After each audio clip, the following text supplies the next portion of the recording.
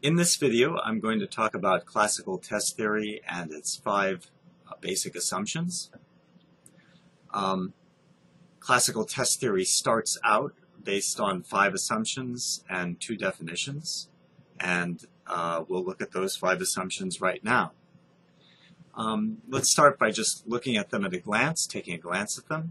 Uh, here they are. They are uh, x equals t plus e the expected value of x equals t, the true score. Now I'm going to start introducing what these symbols, reminding you what these symbols stand for. Rho, that symbol that looks like a p. Uh, rho sub et, that is the population correlation between error scores and true scores, equals zero.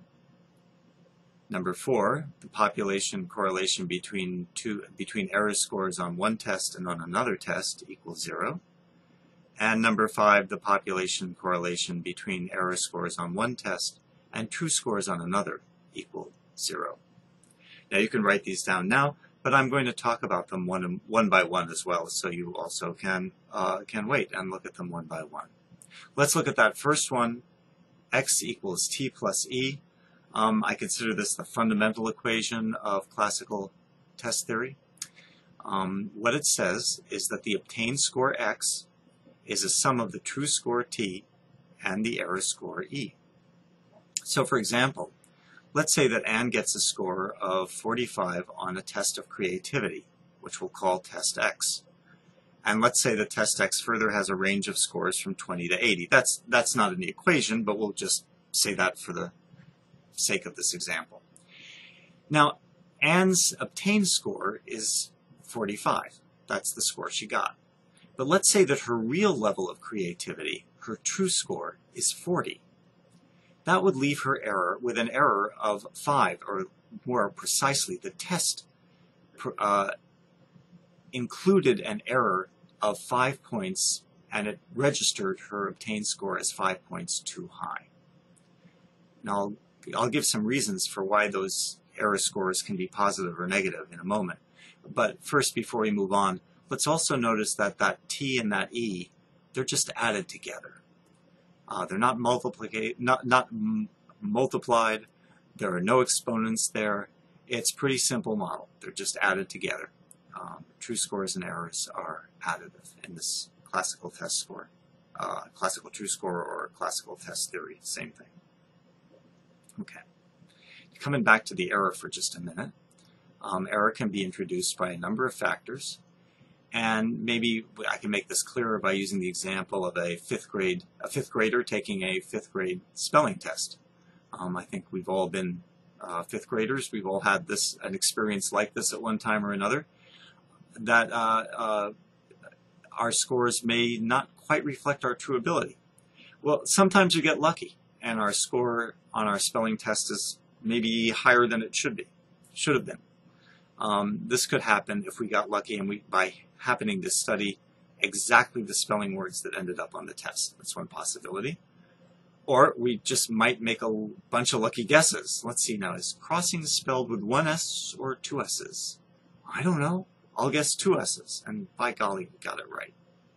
Or, just before we happen to walk into the test, two of our pals were outside the classroom and they were talking, and one was saying to the other, uh, How do you spell clothing? I think that might be on the test. And it turns out you hadn't studied clothing, but you hear the answer C L O T H I N G, and you go, Oh, yeah, it's like clothing, clothing, clothing.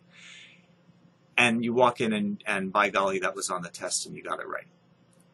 Um, and then there's also the possibility, another possibility is that your teacher uh, didn't notice that you actually spelled it, spelled the word wrong. You, your handwriting wasn't so good, and your teacher thought it was correct, but it was really wrong. So that could introduce positive error as well. So these are just some examples of how you might get a score that's higher than your actual ability. Then there are the instances where you you get a score that's lower, and to some extent these are just parallel to the ones we just looked at. You might study all the items by accident that were not on the quiz um, or you might make unlucky guesses on your test. Um, but there are some other issues as well. You might feel in, ill or indisposed when you're taking the test. Um, you might not have gotten enough sleep. Uh, you might be distracted. Maybe there was a fight between your parents or a fight between you and your brother. And so, for whatever reason, uh, you just didn't perform as well on the test as you would have liked, and your actual true score, uh, your true spelling ability, in fact, is higher. So th- those are some of the reasons for error. And if we think about this, how this unfolds over time, um, uh, we can, uh, it leads us actually to the second equation, as I'll explain in a little while. But first, let's just take a look at that second equation. And that second equation states that the expected value of your obtained scores over time, usually, um, is equal to your true score. Um, for example, if we go back to the case of Anne and her creativity test, if we test Anne, say, five times, or an infinite number of times, uh, but if we test her five times, over those five times, her scores will tend to converge or average her true score value. This is the assumption in classical test theory that connects the hypothetical idea of the true score to the real world. Um, I've plotted out an example of this over here where we have given Anne the creativity test, uh, let's say five weeks in a row, five different time, five different testing uh, periods. And on those five tests, she will get five different scores. You're familiar with this if you happen to take the SAT or ACT more than once, and you noticed, as you can hardly fail but notice, uh, that you got two different scores. So Anne takes this creativity test five times, and sure enough, she gets a 45 the first time, a 35 the second time, a 42, a 42, and a 36. But according to classical, and that's shown in the first row there, but according to classic, classical test theory, her true score hasn't changed. Her creativity has stayed the same. Her true value on this scale is 40 in each instance.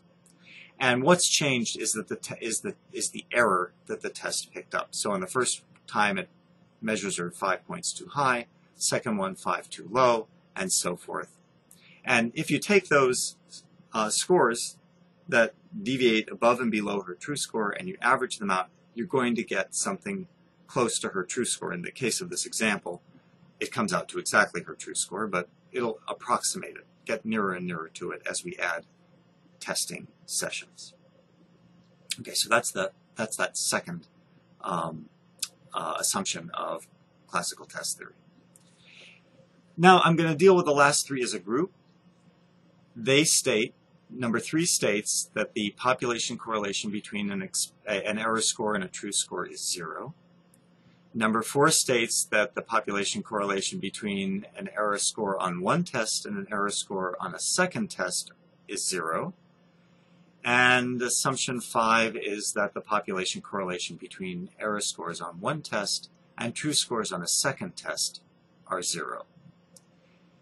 Psychometricians introduced these three assumptions so as to help people, uh, so as to help themselves uh, and, and people who are using the theory to derive additional equations that are useful in applied settings. Now we're going to encounter those additional equations in a little while, but those are not part of this video and, and I'm not going to talk about them now. Um, but the reason I bring that up is that we can consider these three equations to be kind of a house, housekeeping equations. They're, they're assumptions or equations to make sure that everything turns out okay. That is to say, that more derivations are possible um, and that these and with the idea that these other derivations help us understand more about tests. So that's that's these three equations, three through five. They're a little bit less important, a little bit less significant, um, but they're reasonable. Uh, if if errors are, uh, if you take equation four, for example, if if errors are random, then it makes sense that errors on one test might not be correlated with errors on another test or to move back to number three, equation three, uh, since errors are again random, it makes sense that across a group of people, the errors will be uncorrelated with the true scores. So to wrap up this, uh, this video, those are the five assumptions of classical test theory. There are two key equations to understand, x equals t plus e, and the expected value of x equals t.